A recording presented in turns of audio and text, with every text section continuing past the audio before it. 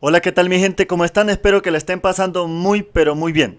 En este video vamos a aprender algo básico y esencial o avanzado en sistema. Es decir, toda persona que se dedica o que se quiera dedicar a la reparación y mantenimiento de equipos de cómputo tendrá casi que por obligación aprenderse ciertos comandos de memoria porque los vamos a necesitar en el transcurrir ese tiempo cuando nosotros empecemos a interactuar con los sistemas operativos, nos vamos a ver en la suma necesidad de aprender comandos, de aprender nuevas cosas que tal vez usted diga, pero ¿para qué las necesito?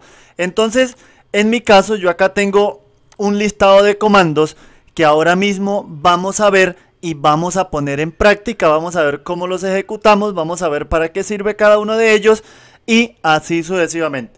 En mi caso yo solamente he hecho un listado con 15 comandos sencillos que tal vez a usted le pueden servir. Vamos a empezar sin más preámbulo con el primero y el primer comando es msconfig. Primero los vamos a ver en su listado y después los vamos a ejecutar y voy a explicar brevemente para qué sirve cada uno de ellos. El segundo comando es ipconfig, el tercero es control folder, el cuarto comando es sfc espacio slash scan node y el quinto gpedit.msc. El sexto regedit, el séptimo símbolo de porcentaje ten y cerramos con un símbolo de porcentaje. El octavo inexcpl.cpl el noveno CHKDSK slash F. El décimo Dix mgmt.msc. El 11 control o control. El 12 cd, tal vez que sea el más sencillo. El 13 dir, también es muy fácil de recordar. El 14 atrit slash d slash s guion r o r guion H guion S asterisco punto asterisco. Tal vez este sea un poco más largo y difícil de manejar. El número 15 dixpar, un comando muy útil para todos aquellos que quieran iniciarse en el mundo de la informática. Entonces aquí tenemos todos los comandos. Si ustedes quieren copiarlos, si quieren aprendérselo, pausan el video y los van copiando de a uno por uno volvámoslos a ver rápidamente como podemos observar cada uno de ellos.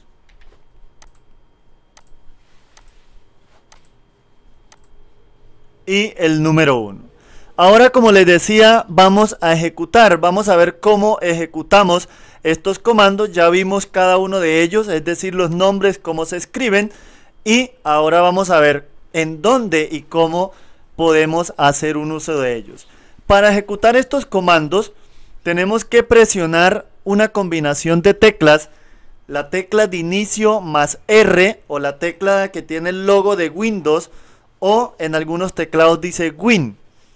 Entonces vamos a presionar allí más R, nos va a salir este cuadro de ejecutar o esta pequeña ventana de ejecutar. También podemos sacar esta ventana de ejecutar en caso de que utilicen Windows 10 le dan clic derecho acá y por acá va a aparecer esa herramienta ejecutar. Aquí aparece ejecutar, puedo también. En Windows 7 o en aquellos que manejen eh, un star, entonces acá aparecerá también ejecutar. Tres formas básicas de eh, poder abrir el comando ejecutar. Una vez acá en ejecutar, entonces digitamos cada uno de los comandos. msconfig ya está ahí escrito simplemente damos clic en aceptar y se nos va a abrir esta ventana. Yo no me voy a detener mucho explicando para qué sirve cada una de esas opciones, simplemente usted si quiere poner en práctica lo hace bajo su propia responsabilidad, bajo su propio criterio, con ánimo de aprender, ok, no me hago responsable de lo que usted haga o deje de hacer con cada uno de estos comandos. En arranque, servicios, inicio de Windows, entonces aquí vemos una parte a nivel general que son los tipos de inicio de Windows. Inicio selectivo con diagnóstico, inicio normal, en arranque donde por ejemplo si yo selecciono esta opción eh, voy a iniciar Windows en modo seguro o a prueba de errores como me manda acá. servicios, allí vamos a poder encontrar todos los servicios de las aplicaciones que nosotros instalamos y servicios propios del sistema operativo. Si yo deshabilito alguno de estos servicios, posiblemente mi computador no va a agarrar internet, no va a agarrar audio, no va a detectar la impresora, no va a detectar el micrófono, no va a detectar el Bluetooth, etcétera, etcétera. Como podemos observar, trae muchos servicios y todos ellos se necesitan. Algunos, en mi caso por ejemplo, yo tengo desactivados algunos porque son servicios de aplicaciones que yo he instalado y yo considero que no las necesito. Inicio de Windows, los que manejan Windows 7 o si hay alguno que maneje Windows XP, aquí va a aparecer todos los programas que se inician cuando yo enciendo Windows y esos programas hacen que mi computador sea más lento. En caso de Windows 8 o Windows 10, en inicio está la opción que se llama abrir administrador de tareas y nos manda directamente a inicio donde aparecen todos esos programas de inicio automático, donde tengo que dar clic en deshabilitar si no los necesito. Vuelvo y repito porque todo esto hace que el computador sea más lento. Herramientas, vemos una serie de herramientas, seguridad de mantenimiento, etcétera, etcétera. Nos da la ruta en donde la podemos encontrar y si la queremos iniciar. Vamos con el siguiente comando. Este comando tenemos que ejecutarlo.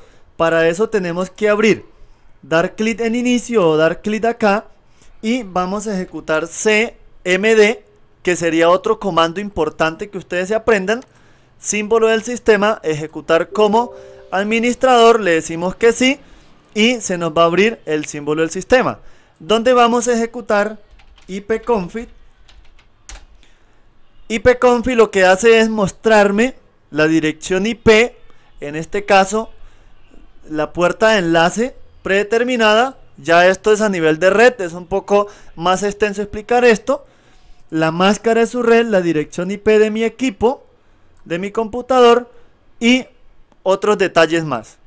Ok, control folder si lo vamos a ejecutar desde la ventana ejecutar. Entonces allí escribimos control folder, damos un enter. En algunos equipos aparece, en otros no. Si no aparece, es lo mismo que yo ir a cualquier carpeta de mi computador, dar clic en vista y dar clic en opciones. Es la misma opción la que se me abre al, ejecutar control folder, donde una de las opciones más utilizadas es la parte de ver, que aquí utilizamos mostrar archivos y carpetas ocultos para nosotros poder ver virus, para nosotros poder eliminar el software malintencionado en nuestro equipo. Entonces desde allí vemos todo eso. Ok, a esto damos a aceptar. Otra herramienta muy útil y muy importante de nosotros aprender es la herramienta de SF slash scan Esta herramienta es muy útil a la hora de reparar nuestro sistema operativo. También tenemos que ejecutarla con el CMD. Lo buscamos, clic derecho, ejecutar como administrador. Le decimos que sí y ejecutamos la herramienta. Entonces, SFC espacio slash scan no. Allí nosotros vamos a dar un enter. La herramienta va a empezar a escanear el sistema operativo en busca de archivos corruptos o de archivos que se hayan dañado en algún proceso de configuración y lo que hace esta herramienta o este comando es volvernos a arreglar esos archivos y facilitar un inicio de Windows de manera adecuada. No lo voy a ejecutar porque se va a demorar bastante tiempo. El siguiente comando es gpedit.msc. Este comando también es muy útil. También lo escribimos en la ventana ejecutar y vamos a dar aceptar. Se nos abre el editor de directivas de grupo. Lo que podemos hacer en resumido desde acá podemos nosotros bloquear absolutamente todo lo que se pueda hacer en el computador. Desde permitir bloquear, por ejemplo, el cambio de fondo, bloquear, por ejemplo, el panel de control, bloquear la instalación de programas, desactivar muchas funciones de Windows. Esto es muy aplicado a nivel empresarial, etcétera, etcétera. Todo se hace desde plantillas administrativas. Podemos, por ejemplo, todos los valores Por ejemplo, si yo quiero impedir que se abran los iconos de internet en el explorador de escritorio, simplemente tendría que dar clic derecho, editar y se me va a abrir esta ventana, doy a habilitar y ya con eso esa opción no va a aparecer en mi computador. Donde también puedo darle estado y mirar qué opciones están habilitadas o deshabilitadas. En este caso, el antivirus está deshabilitado. ¿Ok? Entonces pasemos a la siguiente, que sería Regedit, otra herramienta muy útil y súper avanzada y súper recomendada que nosotros nos aprendamos. Le damos un enter, nos va a pedir control de cuenta de usuario, le decimos que sí. Y allí vamos a encontrar lo que sería el editor del registro de Windows. Acá tenemos que tener mucho cuidado con lo que nosotros hagamos porque acá sí perjudicamos directamente el sistema operativo y nuestro sistema podría quedar totalmente inservible por muchos días. Entonces, acá hay que hacerlo con cuidado. Primero, asesorarnos a dónde es que vamos a dar clic. En resumidas cuentas, acá se puede eliminar registros de todo tipo de programa, se pueden solucionar problemas de virus, se puede configurar, por ejemplo, opciones para que Windows apague o inicie más rápido, podemos eh, ampliar la resolución de pantalla, podemos hacer un montón de cosas. Entonces, tenemos el siguiente comando que sería ten. Este comando es bastante básico, pero bastante útil también de utilizar y que todo técnico o toda persona que se quiera enfocar hacia la informática debe de conocer y utilizarlo. Lo que hace este comando es llevarnos a la carpeta de todos los archivos temporales que son en teoría archivos basura, digámoslo así, es decir, que ya no lo necesitamos o que el equipo ya no los necesita, es como un historial que queda donde yo simplemente puedo seleccionar todo esto y presionamos la tecla Shift más la tecla suprimir y eliminamos eso para siempre. Si aparece una ventana como la siguiente, vamos a dar en hacer esto para todos los elementos y omitir. Lo que nosotros borremos acá no va a perjudicar en nada nuestro sistema ni nuestro computador. Va a seguir todo normal. Eso ayuda a que el equipo trabaje con mayor eficiencia. El comando inexcpl es otro comando bastante útil .cpl es el comando donde nosotros podemos ver las distintas propiedades de Internet.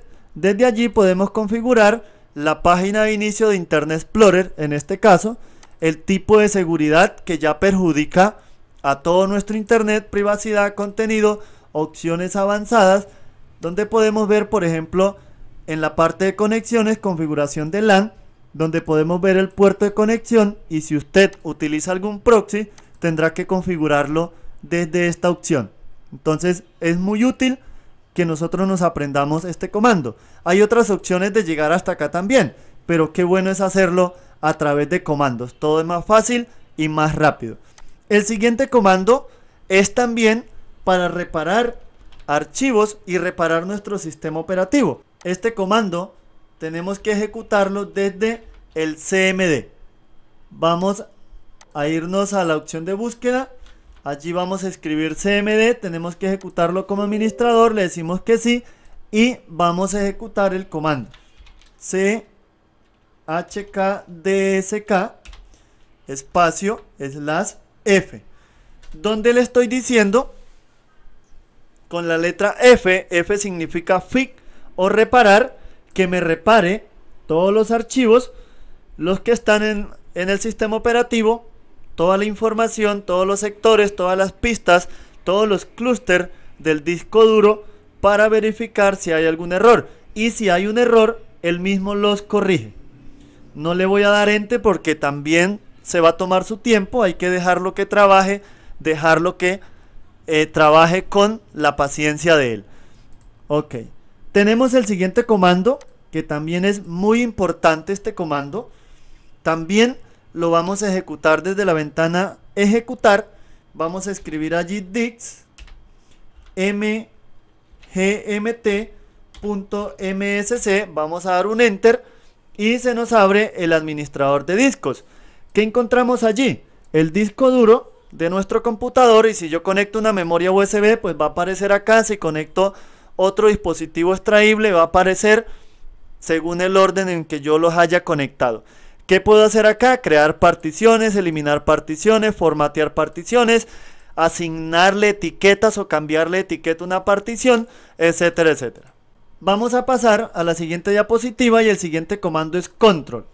Este comando es muy sencillo pero bastante avanzado y útil en el área de la informática, donde se nos va a abrir el panel de control de Windows, donde están todos los ajustes de Windows, donde está absolutamente todo lo que nosotros podemos hacer con nuestro computador. Si queremos agregar cuentas de usuario, si queremos personalizar, si queremos agregar o quitar un idioma, si queremos eh, activar la accesibilidad en Windows, programas donde podemos desinstalar o agregar un programa, por ejemplo, dispositivos o hardware y sonido donde podemos agregar una impresora, por ejemplo, quitar una impresora, donde podemos verificar el estado de nuestro equipo, como vemos acá, aquí aparece, este es mi equipo, me dice que tengo un error de controlador, observen que sí es importante eh, saber ubicar todas estas cosas, porque me dice que tengo un error de controlador, y me dice que necesita someterse al proceso de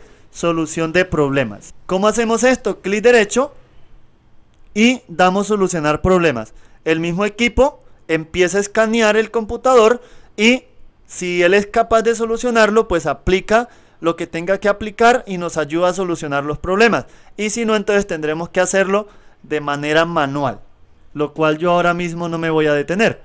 Vamos al siguiente comando y es el comando cd. Este comando tenemos que ejecutarlo desde el símbolo del sistema. Vamos a abrirlo, lo ejecutamos como administrador. ¿Qué hacemos con CD? Con CD lo que hacemos es navegar a través de los distintos directorios que tiene Windows. Si nosotros observamos, por ejemplo, acá me dice que estoy en el disco local C, en una carpeta que se llama Windows, en otra subcarpeta que se llama System32. Si yo quisiera en algún momento llegar hasta donde está Windows, entonces simplemente tengo que digitar cd espacio dos puntos, doy un enter y observen que ahora estoy en Windows. ¿Que quiero llegar hasta el disco local C? Pues hago exactamente lo mismo, cd dos puntos y doy un enter y me manda hasta el disco local C. ¿Cuál sería el disco local C?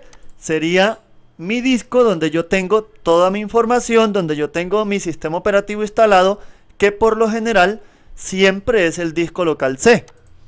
Ok, el siguiente comando dir es muy parecido o casi que se utilizan los dos a la misma vez. Si yo utilizo cd, también voy a necesitar utilizar dir. Porque dir quiere decir directorio donde si yo lo digito, dependiendo donde yo esté ubicado, en este caso estoy en el disco local C, me va a mostrar todas las carpetas que están dentro del disco local C. Podemos comprobar esta información yéndonos a este equipo, al disco local C y vamos a observar a ver si están esos mismos archivos que me muestra el símbolo del sistema. Como podemos observar aquí hay una carpeta que empieza con 2137, aquí también está.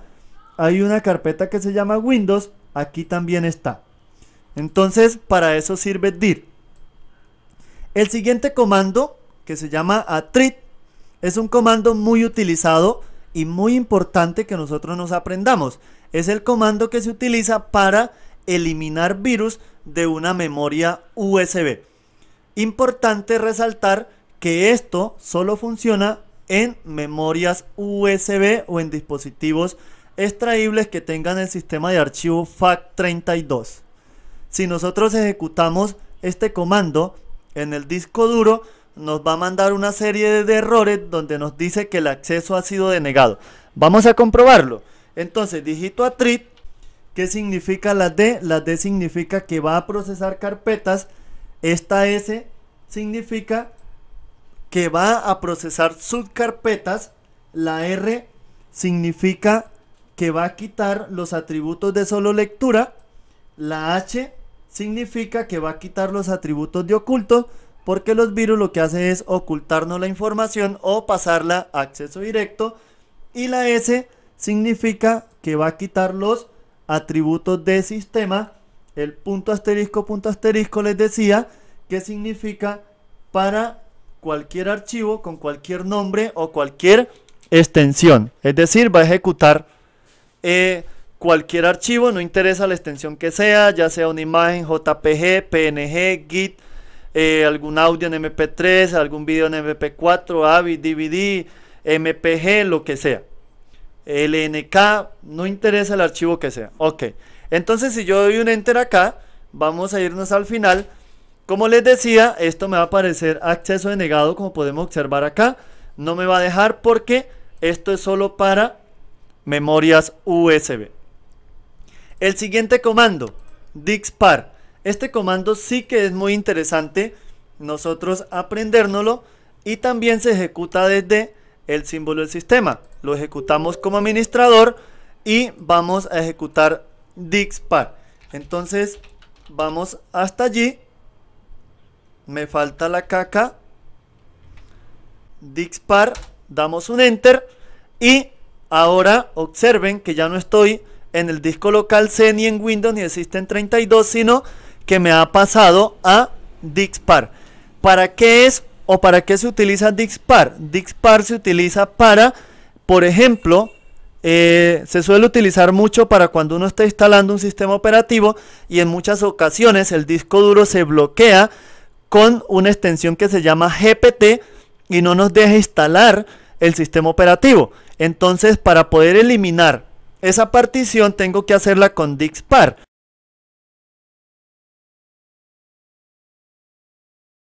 Por ejemplo, si yo aquí pongo listdix, por ejemplo, para que me muestre la lista de discos, en este caso, observen que ahora me ha mostrado, dice que el disco 0 está en línea. ¿Cuál es el disco 0? En este caso es mi equipo, es decir, el disco duro que yo tengo en mi computador, como tengo un solo disco, pues me lo detecta como disco cero. Si yo conecto una memoria USB, pues me va a mandar eh, disco 1, disco 2, disco 3, dependiendo la cantidad de dispositivos que yo tenga conectado. Entonces aquí me dice que está en línea, me manda un tamaño, el tamaño me lo da en gigas. Ok.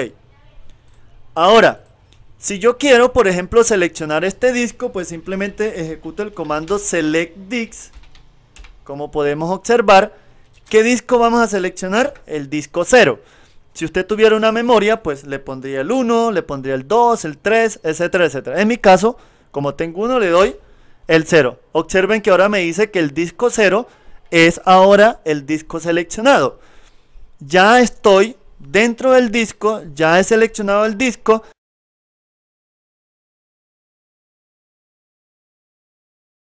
Por ejemplo, supongamos que yo eh, quiero eliminar esa partición, entonces tendría que darle el comando clean.